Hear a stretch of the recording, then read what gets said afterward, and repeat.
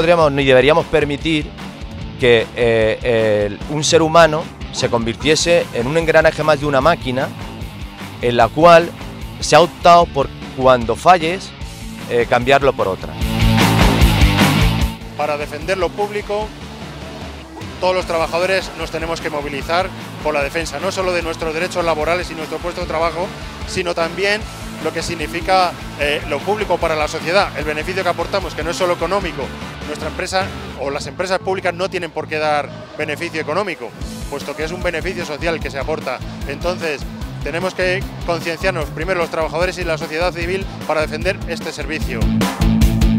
Y si algo me tengo que declarar culpable es de, de amor a la tierra y de tratar por defender el lugar que, nos que me ha visto nacer a mí, a mis amigos, a mis padres y que igual un día, el día de mañana, pues a generaciones futuras.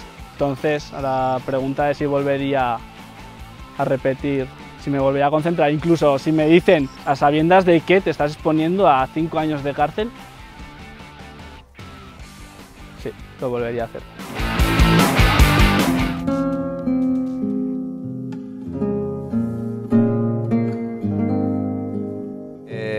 Ese sistema Bedaus pues tiene su historia como cualquier cosa. Eh, y para que la gente lo entienda mejor, pues tendríamos que hacer un, un viajecito en el tiempo e irnos a finales del siglo XVIII, principios del siglo XIX.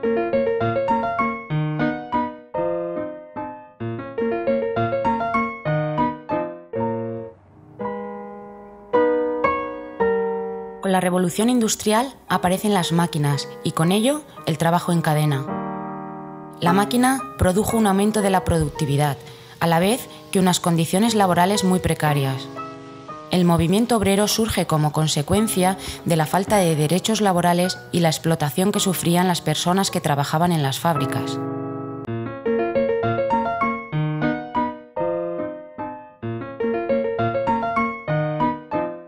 Taylor fue el fundador de la Organización Científica del Trabajo, cuyos objetivos eran establecer por medio de cronómetro el tiempo necesario para realizar cada tarea específica y eliminar los movimientos inútiles. Esos movimientos que ellos consideran inútiles son movimientos que necesita el ser humano para regenerarse, recuperarse y oxigenarse.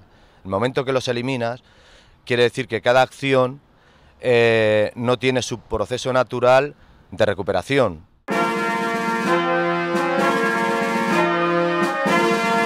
Aparece la figura de Bedaush, que es quien coge el testigo de Taylor y, lo, y desarrolla eh, su sistema.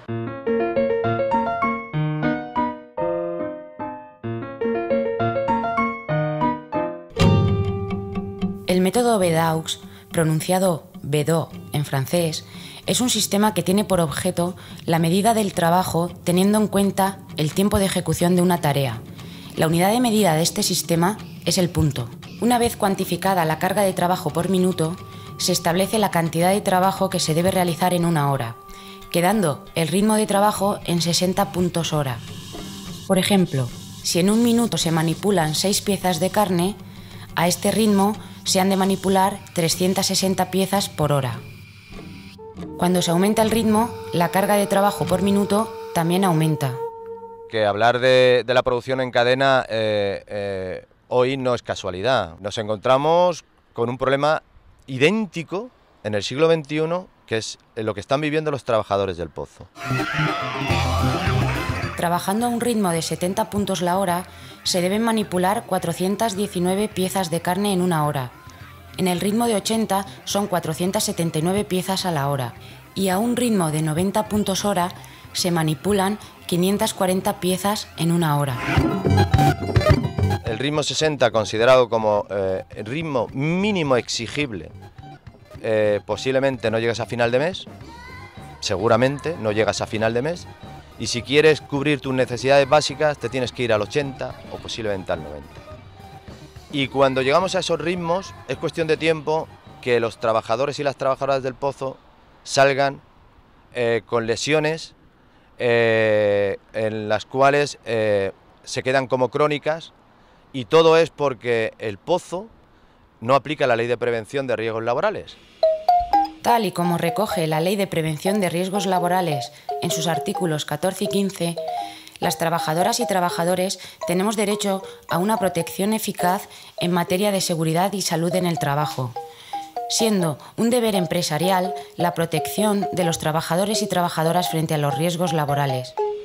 Si se cumpliera eh, la ley de prevención de riesgos laborales, no habría tantas lesiones como están habiendo en esta empresa, porque yo por ponerme de ejemplo, pues tengo tres hernias discales en el cuello, tengo epicondilitis en los dos codos, tengo un tendón roto en el hombro, tengo síndrome del túnel carpiano e incluso tengo reconocido una minusvalía de más de un 40%. Si los puestos de trabajo estuvieran ergonómicamente y bien hechas las evaluaciones, la gente no tendría por qué estar lesionándose. La evaluación de riesgos laborales es una herramienta fundamental para prevenir los riesgos para la salud y evitar posibles daños irreversibles. El objetivo de la evaluación es identificar los peligros derivados de las condiciones de trabajo. En el caso que nos ocupa, la evaluación de riesgos del ritmo 60 realizada en el Pozo Alimentación arroja unos resultados preocupantes, ya que recogen un alto riesgo para las extremidades superiores del cuerpo. La sección sindical de CGT lo que más nos preocupa es la salud de los trabajadores y esa es nuestra lucha.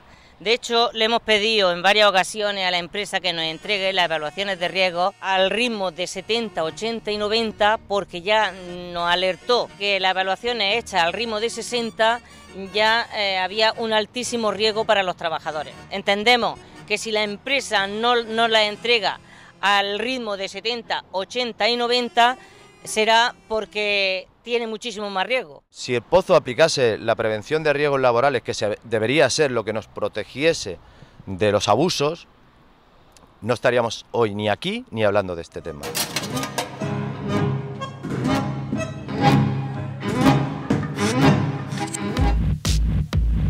Todas las empresas han de contratar a una mutua y pagan una cantidad por cada trabajador o trabajadora. La mutua, a cambio, corre con los gastos en caso de accidente laboral o enfermedad profesional. Cuanto menos tiempo estemos de baja o menos pruebas nos realicen, más beneficio le queda a la mutua. La mutua elegida por el Pozo Alimentación es Ibermutuamur. El organigrama de dirección de las mutuas está formado por personas vinculadas a empresas y en el caso de Ibermutuamur, una de las vicepresidencias está ocupada por José Fuertes en representación de El Pozo Alimentación. Resulta curioso que una empresa como El Pozo, que no cumple con la ley de prevención de riesgos laborales, tenga un miembro en el Consejo Directivo de Ibermutuamur, que es quien marca las bajas y altas a las trabajadoras y trabajadores en el Pozo Alimentación cuando sufren un accidente laboral o enfermedad profesional ahora ya sabéis que tienen esa potestad las mutuas para darnos el alta cuando ellos lo consideran, pues aunque no estemos curados, nos dan el alta y tenemos que irnos a trabajar. ¿Y así que ocurre? Pues que una lesión que es leve, al final se hace crónica y se hace grave, porque de hecho hay muchísima gente y gente joven que se ha ido con una invalidez o bien de hombro, o bien de muñeca, o bien de codo. No podríamos ni deberíamos permitir que eh, un ser humano se convirtiese en un engranaje más de una máquina en la cual se ha optado por cuando falles eh, cambiarlo por otra. La línea es la que llevamos hasta ahora, seguir luchando, eh, bien sea a través de la inspección de trabajo en los juzgados, no pararemos hasta que realmente aquí se cumpla la ley de prevención de riesgo laboral. Para defender lo público, todos los trabajadores nos tenemos que movilizar por la defensa, no solo de nuestros derechos laborales y nuestro puesto de trabajo, sino también lo que significa eh, lo público para la sociedad, el beneficio que aportamos, que no es solo económico. Nuestra empresa o las empresas públicas no tienen por qué dar beneficio económico, puesto que es un beneficio social que se aporta. Entonces, tenemos que concienciarnos primero los trabajadores y la sociedad civil para defender este servicio. Y si algo me tengo que declarar culpable es de, de amor a la tierra y de tratar por defender el lugar que, nos me ha visto nacer a mí, a mis amigos, a mis padres y que igual un día, el día de mañana, pues a generaciones futuras. Entonces, la pregunta de si volvería a repetir, si me volvería a concentrar, incluso si me dicen a sabiendas de que te estás exponiendo a cinco años de cárcel, lo volvería a hacer.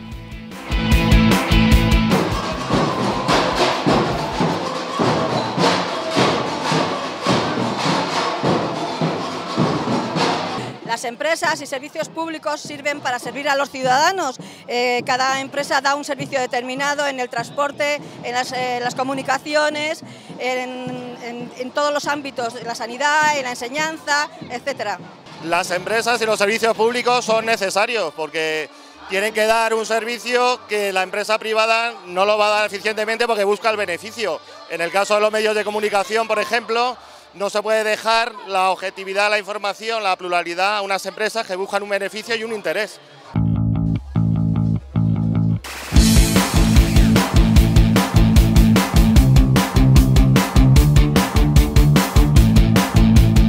Estamos ahora mismo en una problemática que nos va a llevar, si no somos capaces de, de pararlo, a una privatización y a un desmantelamiento de nuestras empresas como, como, como servicio público.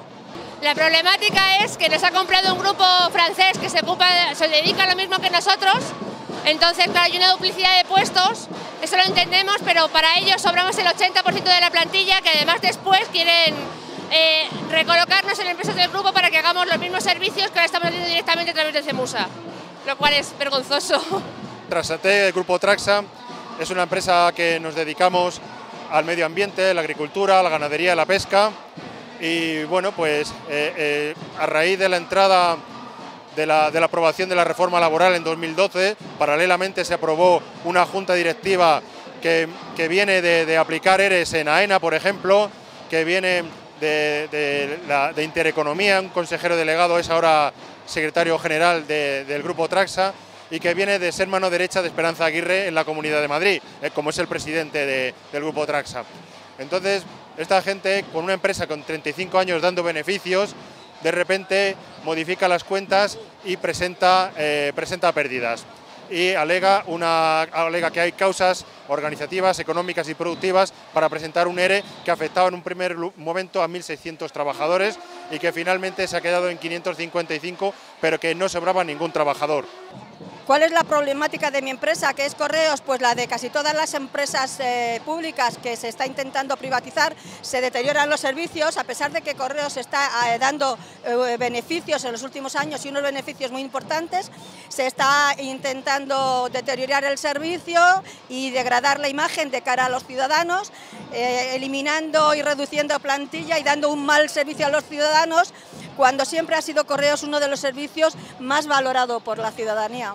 Mi empresa es una empresa pública que está secuestrada por, por el gobierno y, lleva así ya más de 12 años. Se produjo un cambio de gobierno en, en mayo del año pasado, han pasado casi 10 meses y siguen las cosas igual. Está, sigue secuestrada por el poder, la utilizan como altavoz, utilizan la, la radio televisión pública como gabinete de prensa, como altavoz de, de, su partido político y nadie parece que pueda impedirlo, ¿no? Y bueno, menos nosotros y lo hemos pagado caro.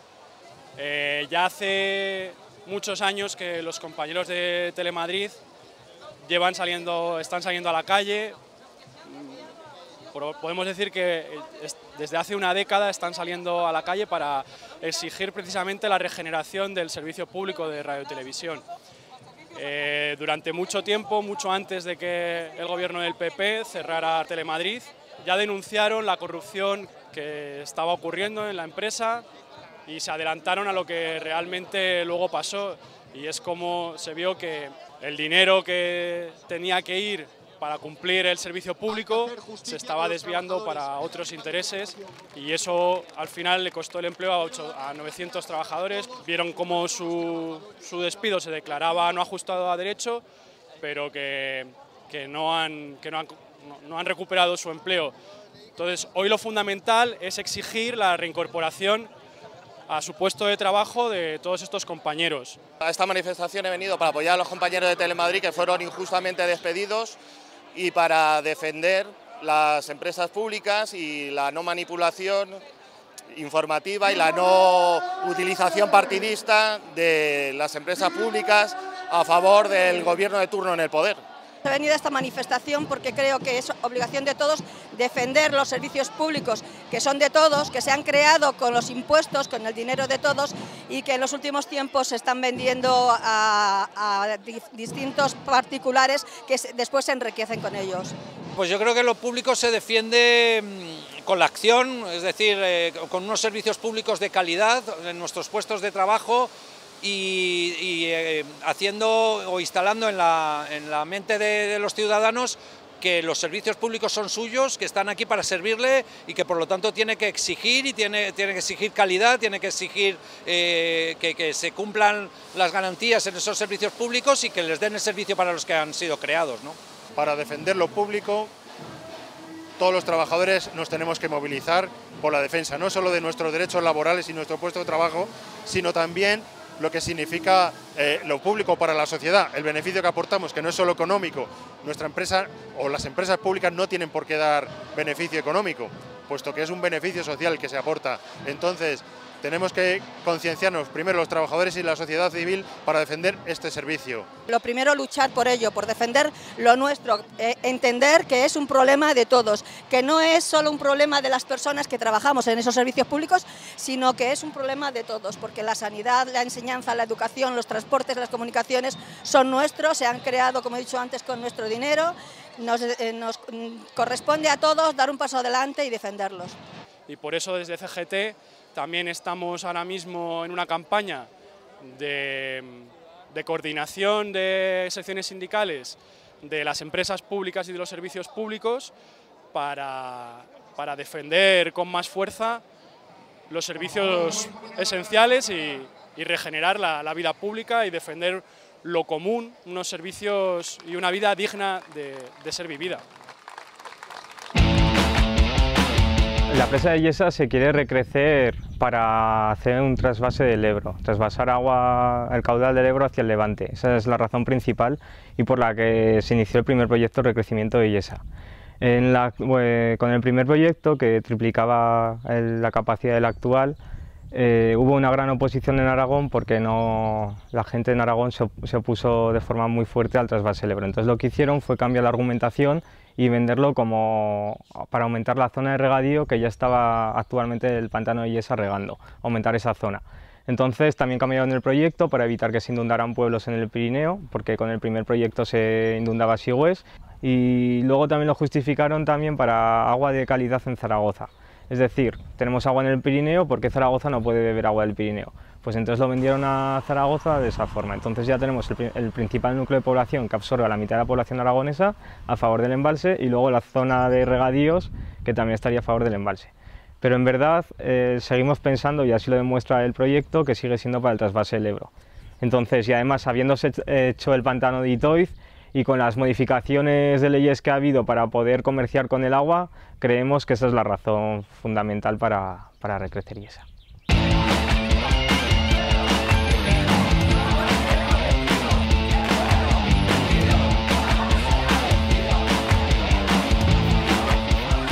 nos quieren arrancar parte de nuestra vida. Nosotros somos de aquí, hemos vivido aquí y cualquier persona que haya tenido pueblo o que tenga pueblo sabe lo que es un pueblo para esa persona. Aparte de eso, de ese sentimiento que tenemos de defender el territorio, de ese sentimiento que tenemos por nuestra tierra, también hay razones medioambientales porque hay algunas zonas de protección de aves afectadas, también patrimoniales y culturales, porque por aquí pasa el camino de Santiago Aragonés y quedaría inundado por el proyecto del pantano y también razones económicas. Estamos hablando de una obra que está presupuestada en unos 110 millones de euros en su proyecto inicial, cuando triplicaba la capacidad, y en la actualidad, con un proyecto más pequeño, estamos en un proyecto que ronda los 500 millones de euros, ha cuadriplicado su presupuesto. Otra de las razones más importantes que últimamente nos está dando mayor apoyo es el tema de la seguridad. Eh, las laderas que sujetan la presa actual de Yesa son inestables y ahora con las obras de recrecimiento lo que están haciendo es eh, sacar a la luz esa inestabilidad. Entonces ya ha habido un par de sustos con las laderas, sobre todo con la derecha, que ha obligado a desalojar una urbanización y a, meter otros 50 millones de euros y a un movimiento que a día de hoy no ha parado de la ladera derecha. Los ingenieros y la gente que entiende de presas dice que la presa tiene que estar en unas laderas estables donde la presa se sujete para que junto a la presa y las montañas sean las que sujeten el agua Y ahora lo que pretenden vendernos es al revés, vamos a hacer una presa nueva que sujete las laderas. Y eso la verdad que cuesta mucho de entender cómo puede ser que las laderas vayan a sujetar la presa cuando la presa es la que se tiene que sujetar en las laderas. El proyecto se encuentra en estos momentos con el modificado número 3 del proyecto, que es duplicar la cota, y ya se ha empezado a hacer lo que es el cuerpo de la presa, que va a ser una presa distinta a la que hay ahora, que la de ahora es de hormigón y la que están haciendo nueva es de sedimentos sueltos, que consiste en echar tierra hacer una pirámide de tierra y luego la cubrirán de hormigón para aislarla del agua. Y en la actualidad, las últimas noticias que salieron a día de hoy llevan como un 30% del proyecto hecho, de lo que es la presa nueva. Esa es la situación a día de hoy. Pero como se puede ver detrás mía, pues todo el desmonte que están haciendo de laderas, todo el camino, etcétera, ya ha empezado. Ya nosotros nos han expropiado ya parte de, de, las tierras que nos querían expropiar y, estamos en proceso ya en vez de por vía de urgencia, que es la que se nos ha expropiado, por vía general, estamos pendientes de que nos expropien ya todo el término municipal que estaba pendiente de, ser expropiado. Al ayuntamiento principalmente le dejan sin uno de sus principales ingresos económicos, que era unas hectáreas que tenía ahí cerca del río, que le daba trabajo a la gente del pueblo y con el arrendamiento se sacaba pues, para, para, el mantenimiento del pueblo, para hacer obras. A mucha gente de aquí que tiene sus tierras que le permitía vivir dignamente, pues se las expropian y eso para ellos va a ser un palo económico para poder seguir viviendo aquí.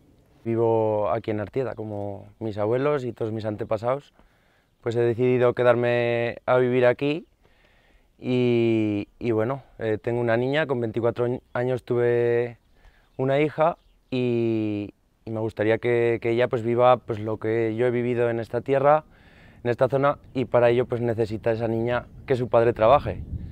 Trabajamos, yo soy agricultor, también llevo a los niños al colegio con el taxi, con el transporte escolar y bueno, intento, intento ganarme la vida aquí para darle lo mismo que me a mí mis padres.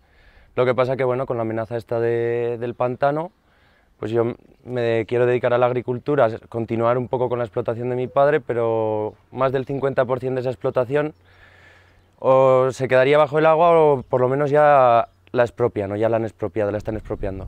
Ahora mismo me veo obligado a marcharme de mi pueblo, siendo que ya he planteado aquí todo.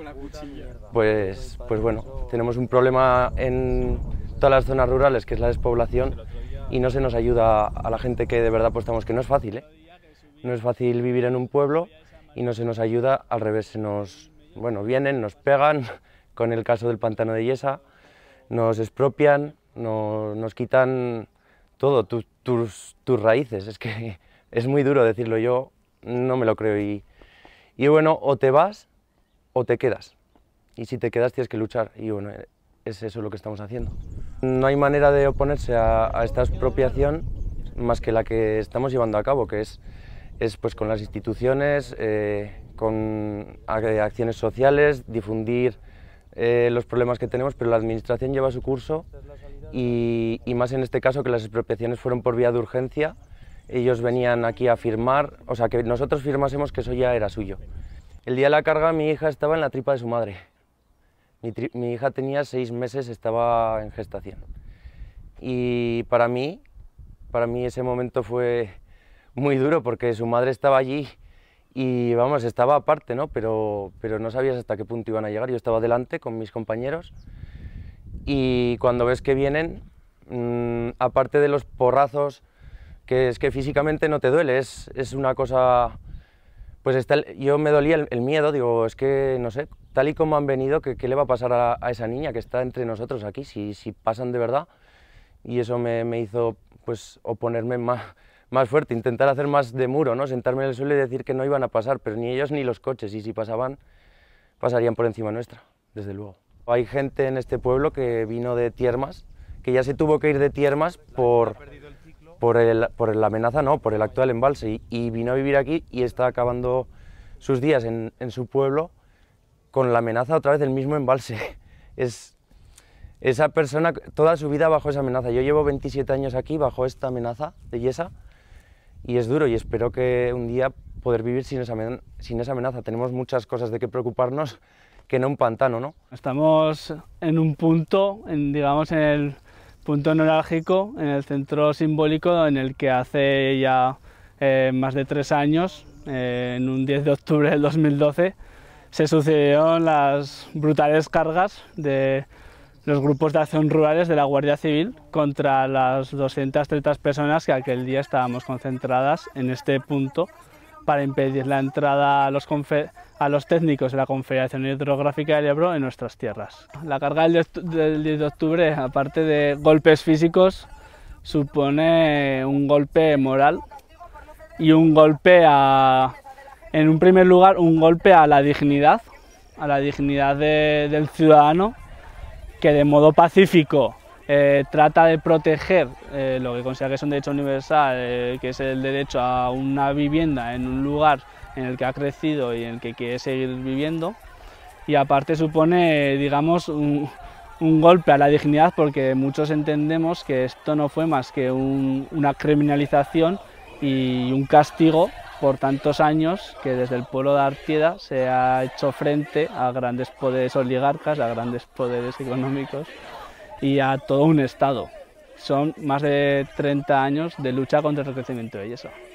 Eh, la carga del 2012 tuvo como consecuencia que ocho personas, de las que estábamos aquí aquel día concentradas de modo totalmente pacífico, eh, hemos sido envueltas en un proceso judicial que, al cual no le encontramos ningún sentido.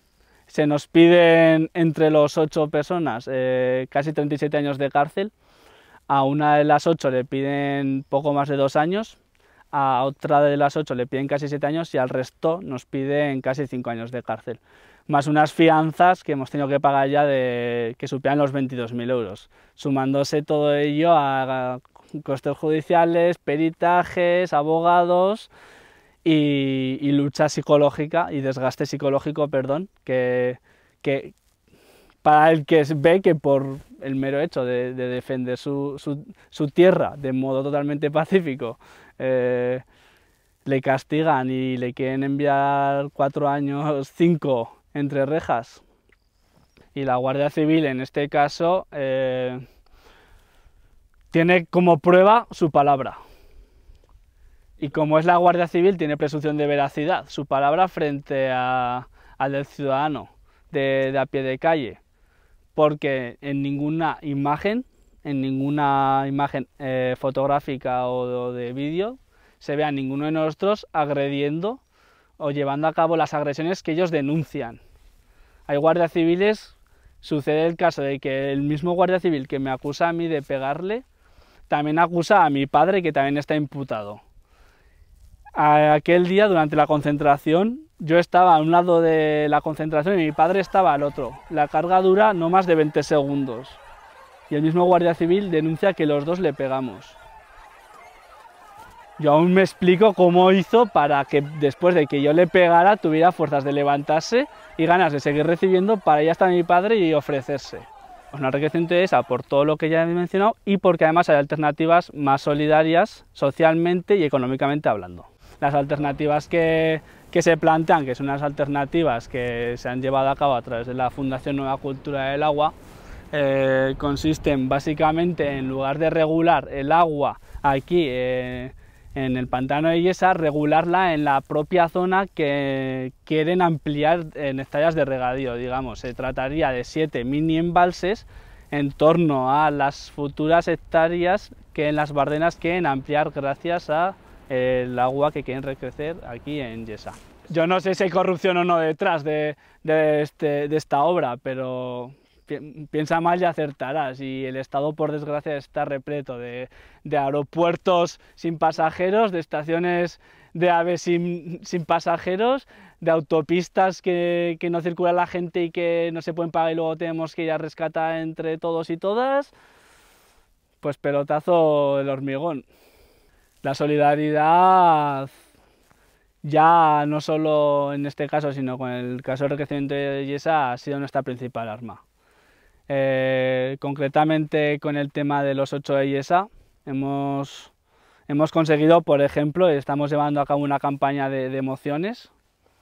Hemos conseguido que eh, Ayuntamiento de Zaragoza, Ayuntamiento de Huesca, la Diputación Provincial de Zaragoza, Diputación Provincial de Huesca, que la mayoría de los pueblos, y por lo que nos han dicho, que todos los pueblos en su totalidad que conforman la comarca La Jacetania, que es la comarca a la que pertenece vayan a firmar mociones de apoyo a favor de los 8 de Yesa, mociones de solidaridad en apoyo a favor de los 8 de Yesa. Hemos conseguido, de una forma más tibia, en su redactaje, digamos, que las propias Cortes de Aragón manifiesten eh, el apoyo también a los 8 de Yesa. O sea, solidaridad es en este caso nuestra, nuestra principal arma para ir confiados eh, de cara al juicio, para ir seguros de nosotros mismos, porque sabemos que no somos ocho, que somos muchísimos más. Sé que no hice nada malo, sé que no pegué a nadie, entonces me creo poseedor de la verdad y de la razón y cuando uno está con esa conciencia tranquila no puede tener miedo a lo que venga. Y en segundo lugar porque tienes detrás un colchón humano que pase lo que pase y poniéndote en el peor de los papeles, en el peor de los lugares, ¿no? que no me escuche mi madre, pues será, será aire, será aire y esperanza. Miguel, Javier, Jorge y Oscar, Sergio, Chemales y Arriel, se los quieren llevar presos por querer salvar su piel. Hay que luchar todos juntos para que esto no suceda y unir todas nuestras voces a los vecinos de Artieda.